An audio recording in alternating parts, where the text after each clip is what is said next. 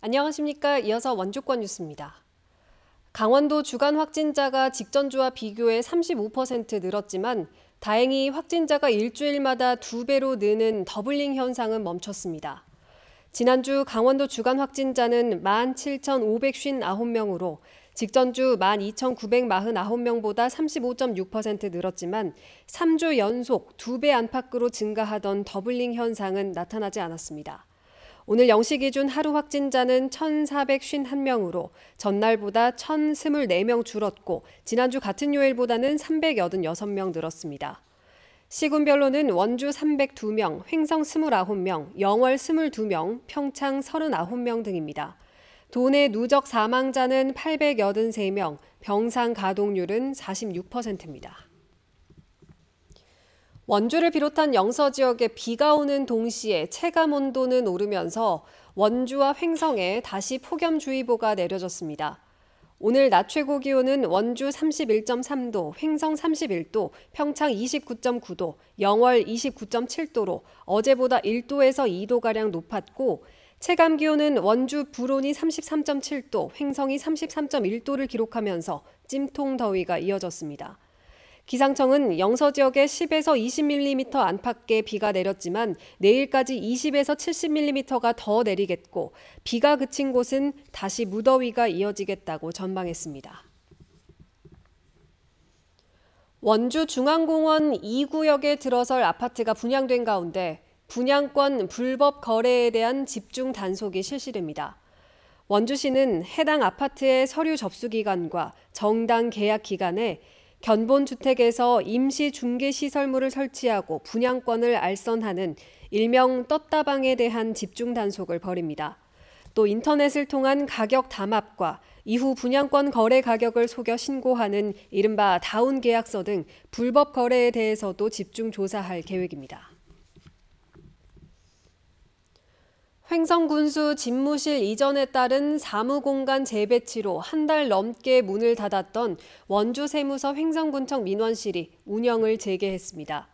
횡성군은 군청 본관 1층 출, 농협 출장소 옆으로 민원실 이전 공사를 마치고 오늘부터 운영을 재개했다고 밝혔습니다.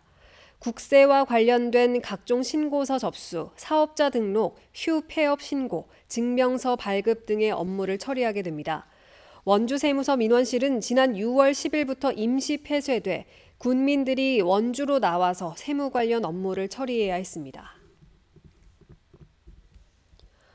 원주 지속가능 발전협의회가 여름철 불필요한 전력 사용을 줄이기 위해서 사무실 적정 온도 챌린지를 진행합니다. 여름철 실내 적정 온도인 26도에서 28도 사이를 유지하고 있는 사무실 인증샷을 찍어서 SNS 등을 통해 지속가능 협의회에 전달하면 됩니다. 참가한 사무실 가운데 추첨으로 50곳을 뽑아 간식을 제공합니다. 다만 적정 실내 온도 의무 대상인 건물이나 공공기관 등은 제외됩니다. 횡성 둔내 고랭지 토마토 축제가 오는 13일부터 15일까지 사흘 동안 둔내 종합체육공원 일원에서 펼쳐집니다. 올해로 11회째를 맞은 둔내 토마토 축제는 코로나로 인해 3년 만에 대면으로 진행하며 100m 규모의 토마토 풀장에서 경품 찾기, 물총놀이, 케이팝 콘서트 등 풍성한 프로그램이 열립니다. 이와 함께 둔내 고랭지에서 자란 고품질 토마토를 저렴하게 구매할 수 있는 직거래 판매장과 시식 코너, 홍보관도 운영됩니다. 코로나로 인해 3년 만에 열린 영월 동강 뗏목 축제에 관광객 3만여 명이 방문한 것으로 집계됐습니다.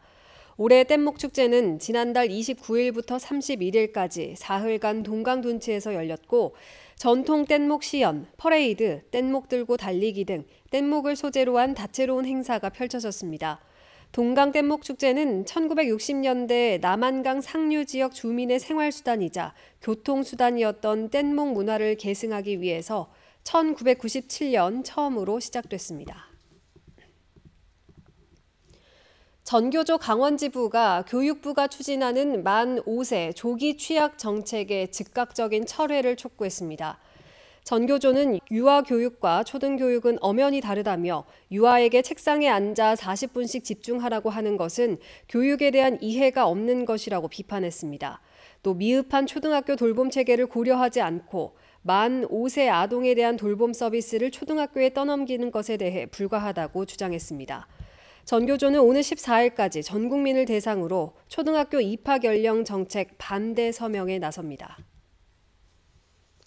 뉴스를 마칩니다. 고맙습니다.